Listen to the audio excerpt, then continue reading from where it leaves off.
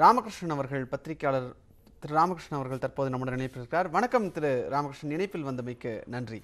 இப்போ இது வந்து ஒரு இந்த பொலிட்டிக்கல் என்ட்ரி இந்த டைமை கரெக்டாக யூஸ் பண்ணாதான் நடக்கும் அப்படின்றது திரு கார்த்திகேயன் அவர்கள் சொல்லக்கூடிய கருத்தாக இருக்கிறது. இந்த சூழ்நிலையில் இப்போ எம்ஜிஆர் நினைவில்லத்தில் பார்த்தோம் அப்படின்னா பொதுச் செயலாளர் சசிகலா அப்படிங்கிற கல்வெட்டும் திறக்கப்பட இருக்கு. அங்கே கல்வெட்டு தயார் செய்யப்பட்டிருக்கிறது. இது மீண்டும் மீண்டும் அதிமுகவில் சசிகலா அவர்களை சேர்க்க மாட்டோம் அப்படிங்கிறதுல திட்டவட்டமாக இருக்காங்க. ஆனால் அதிமுகவினுடைய பொதுச் செயலாளர் வி. கே. சசிகலா அப்படின்னு கல்வெட்டு பொறிக்கப்பட்டிருக்கிறது. அது இன்னும் சற்று நேரத்தில் திறக்கப்பட இருக்கிறது. இது எதை குறிக்கிறது? இது தொண்டர்கள் மத்தியில் எந்த மாதிரியான ஒரு குழப்பத்தை இந்த பொன்விழா ஆண்டு காலத்தில் ஏற்படுத்தும் நினைக்கிறீங்க? வணக்கம். அதாவது அவங்க சசிகலாவை பொறுத்தவரையில் தான் அஇஅதிமுகவோடு தான் இருக்கிறேன். அதோடு தான் சேர்ந்து பயணிக்கிறேன். அப்படிங்கிற ஒரு செய்தியை சொல்வதற்கு தான் இந்த அவங்க வந்து அஇஅதிமுகவினுடைய பொதுச் செயலாளர் என்று அவர்கள் அந்த குறிப்பிட்ட அந்த ஒரு கல்வெட்டு இருக்கிறதெல்லாம் பற்றி சொன்னீங்க. பட் ஆனால் இது வந்து நீங்கள் முன்னேலையும் பார்த்தா கூட அவங்க ஒரு ஒரு சிறிது காலத்திற்கு வந்து அவங்க ஜெயிலேருந்து வந்த பிறகு ஓ ஓரிரு அறிக்கைகள் வந்த பொழுது கூட அஇஅதிமுகவினுடைய பொதுச் செயலாளர் என்று தான் குறிப்பிட்ட குறிப்பிட்ட குறிப்பிட்டிருந்தது.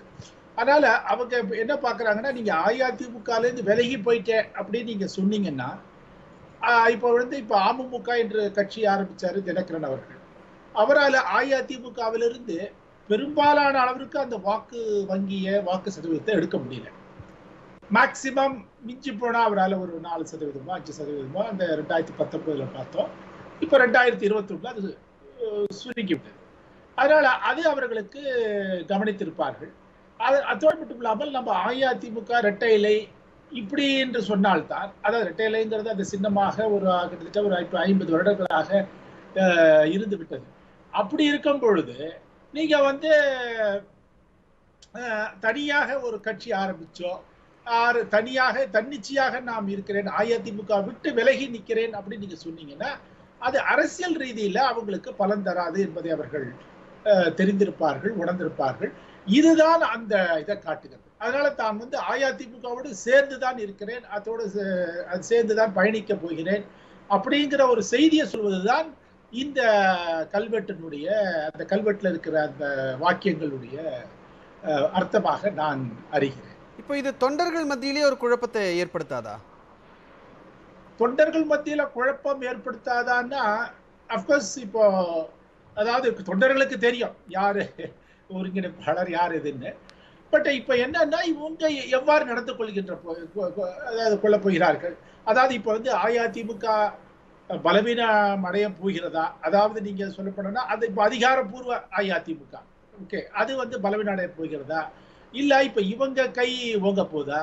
இல்ல ரெண்டு பேரும் வீக்கெண்ட் ஆகி வேற ஏதாவது இப்போ வந்து ஏற்கனவே உங்களுக்கு மற்ற சில கட்சிகள் இருக்கின்றன. அதாவது பாட்டாளி மக்கள் கட்சி நான் தமிழர் கட்சி மக்கள் நீதி மையம் ஈவன் இப்போ ஸோ அதில் ஒவ்வொருத்தரும் அந்த இந்த அஇஅதிமுகவுடைய வாக்கு வங்கியை பெற வேண்டும் என்று நினைக்கிறார்களா? பாஜக உள்பட. ஸோ அதனால இது வந்து இப்போ இவங்களை அதாவது குழப்பம் ஏற்படுத்தமானா ஏற்படுத்தலாம். நான் இல்லைன்னு சொல்ல.